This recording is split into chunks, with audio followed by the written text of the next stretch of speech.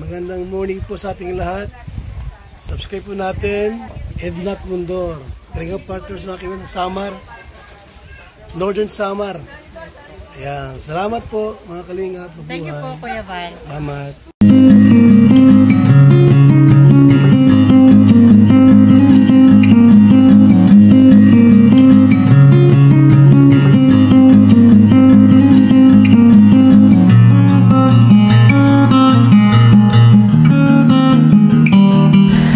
Good morning mga kanainais and mga kapartners. Uh, si Nainais Edna po ay nandito ngayon sa terminal ng Torbanada. Tulad ng usapan namin ni Nanay Maribit, dito ko siya susunduin sa terminal ng Torbanada dahil check up niya po ngayong araw na ito. Kaya samahan niyo kami mga kanainais sa check up ni Nanay Maribit.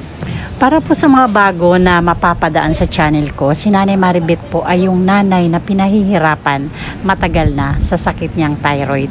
Kaya ngayon, uh, makakapagpa-check up na siya ang matagal na niyang dasal.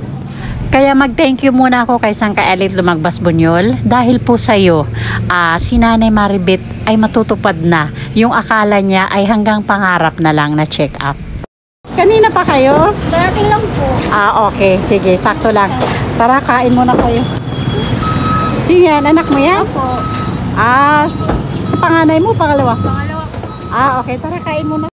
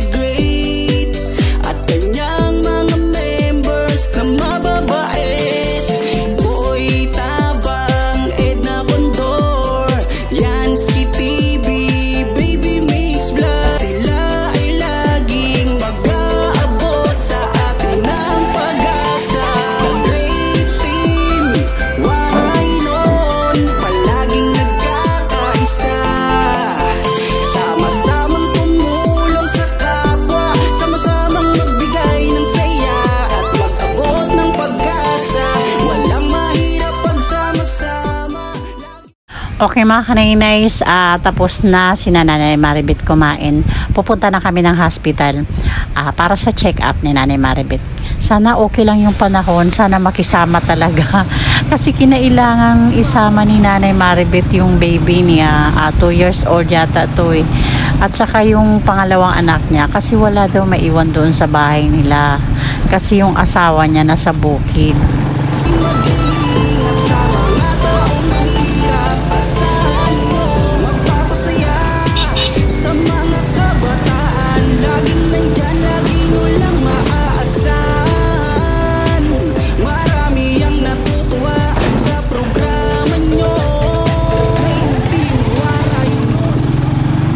Okay mga kanainays, mga kapartners, uh, balikan ko kayo mamaya pagkatapos namin mag-process sa loob ng hospital.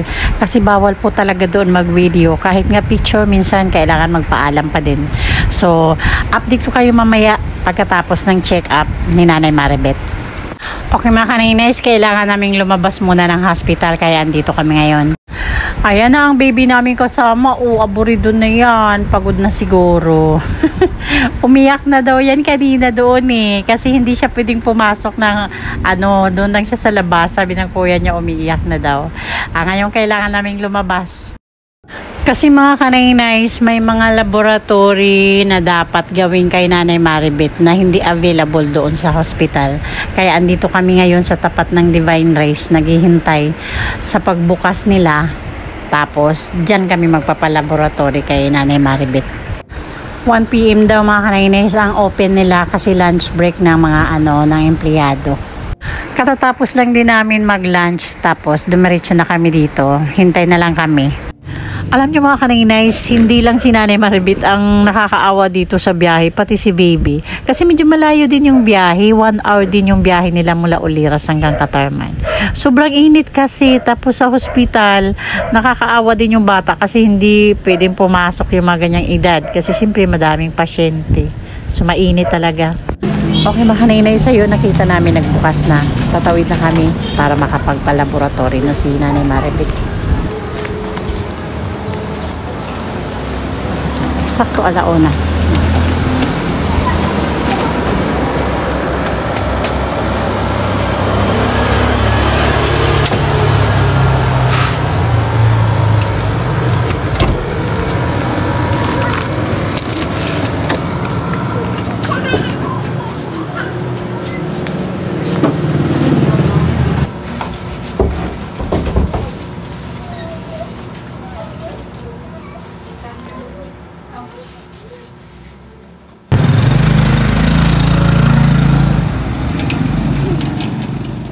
Okay, babalik na sila sa hospital kasi masyadong mainit dito para kay baby.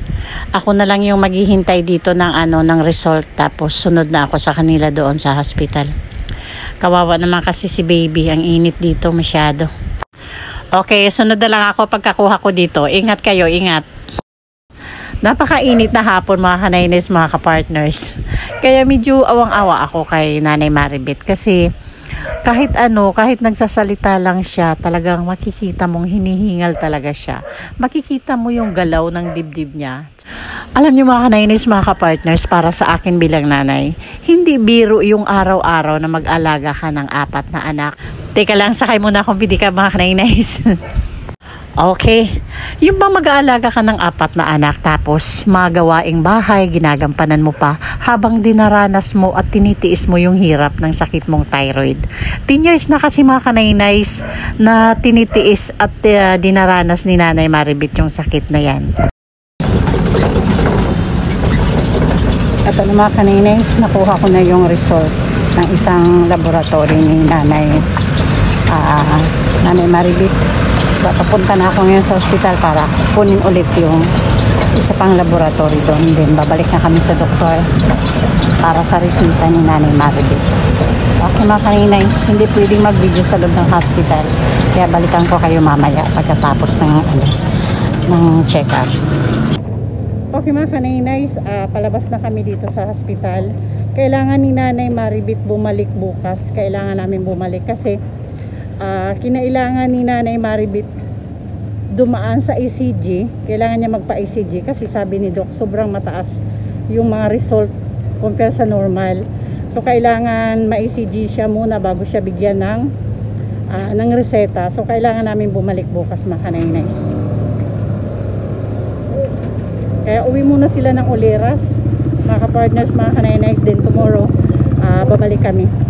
So yan na lang ano Nanay Maribit, bukas, hintayin kita ulit sa terminal. Sunduin kita ulit sa terminal din. Balik tayo dito sa hospital. Wala tayong choice kundi bumalik. Oo mga kanay-nice. Okay, salamat mga kanay-nice.